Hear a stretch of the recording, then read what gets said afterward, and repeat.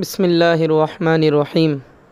محترم ناظرین کرام، الحمدللہ، آج آپ کو قرآن کریم اچھی آواز کے ساتھ پڑھنا چاہیے اور اچھے انداز میں پڑھنا چاہیے، خوبصورت آواز میں پڑھنا چاہیے قرآن پاک کو اور اس کے بارے میں سرکار دو عالم پیارے آقا علیہ الصلاۃ والسلام نے جو ارشاد فرمایا قرآن کو اچھی آواز میں پڑھنے کے تعلق سے میں آپ کو چار حدیث مبارکہ میں آپ کو سناتا ہوں۔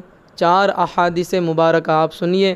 انشاءاللہ آپ کو آپ کو تسلی ہوگی، آپ کو کا دل خوش ہوگا اور یقیناً آپ بھی کوشش کریں گے کہ ہم قرآن پاک کو اچھے اور بہترین انداز سے خوبصورت آواز میں پڑھنے کی کوشش کریں۔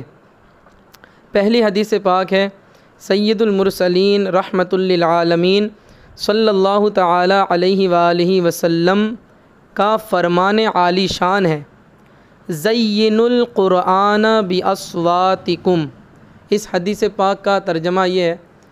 پیارے آقا صلی اللہ تعالیٰ علیہ وآلہ وسلم نے ارشاد فرمایا کہ قرآن کو اپنی آوازوں کے ذریعے سے سنوارو، زینت دو، خوبصورت بناؤ۔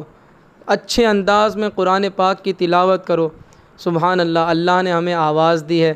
یقیناً یہ آواز اسی وقت ہم اس کا حق ادا کر سکتے ہیں جب اس آواز کو ہم اللہ عز و جل کے کلام پاک کی تلاوت کے لیے خوبصورتی کے ساتھ استعمال کریں۔ دوسری حدیث پاک بھی بڑی پیاری ہے۔ ہمارے پیارے آقا صلی اللہ تعالیٰ علیہ وآلہ وسلم نے ارشاد فرمایا لکلی شعین حلیتن وحلیت القرآن حسن الصوت۔ اس کا ترجمہ بھی بڑا پیارا ہے۔ لکل شعین حلیتن حضور فرماتے ہیں، ہر چیز کا کوئی زیور ہوتا ہے، اس کی خوبصورتی ہوتی ہے۔ ہر چیز کے لیے زیور ہے اور قرآن پاک کا زیور خوبصورت آواز ہے یعنی خوبصورت آواز میں قرآن کو پڑھنا یہ قرآن کا زیور ہے۔ سبحان اللہ۔ تیسری حدیث پاک بھی سماعت فرمائیے۔ اور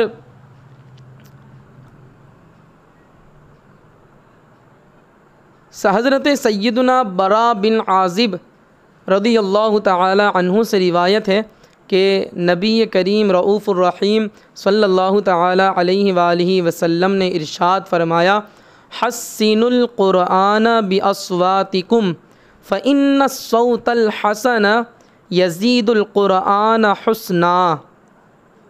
اس کا ترجمہ، قرآن کریم کو اپنی آوازوں سے خوبصورت کر کے پڑھو، اس لیے کہ اچھی آواز قرآن کے حسن میں اضافہ کرتی ہے یعنی زیادہ کرتی ہے۔ سبحان اللہ ماشاء اللہ اللہ پاک ہم سب کو قرآن پاک بہترین انداز میں پڑھنے کی توفیق عطا فرمائے۔ چوتھی حدیث پاک بھی سماعت فرما لیجیے۔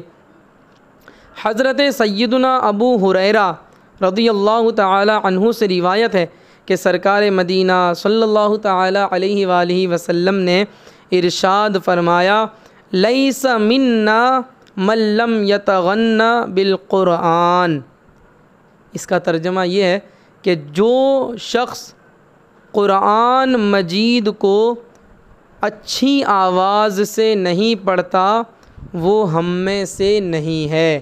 یہ لاسٹ والی جو حدیث پاک ہے یہ وعید ہے یہ، کہ قرآن پاک کو جو اچھے انداز میں پڑھتا نہیں ہے اچھی آواز اور خوش آوازی کے ساتھ پڑھتا نہیں ہے، حضور فرماتے ہیں وہ ہم میں سے نہیں ہے۔ پیارے محترم اسلامی بھائیوں یقیناً یہ بات بتانے کا مقصد ثواب کی نیت ہے اور قرآن کریم کا پیغام آگے تک پہنچے، ہم قرآن پاک بہترین انداز میں پڑھنے والے بن جائیں، آپ بھی اس بات کو آگے تک پہنچائیں تاکہ لوگ جو ہیں اس طرف راغب ہوں اور اپنی آوازوں کو، اپنے صوت کو، اپنے حسن حسن، خوش آوازی کو اللہ کے کلام کے لیے استعمال کریں۔ یقیناً یہ ثواب کا کام ہے، دنیا بھی سنور جائے گی، آخرت بھی سنور جائے گی اور اللہ کے کلام کی نورانیت دلوں میں اترتی چلی جائے گی۔ اللہ پاک جل جلالہ ہم سب کو ان تمام باتوں پر عمل کرنے کی توفیق عطا فرمائے۔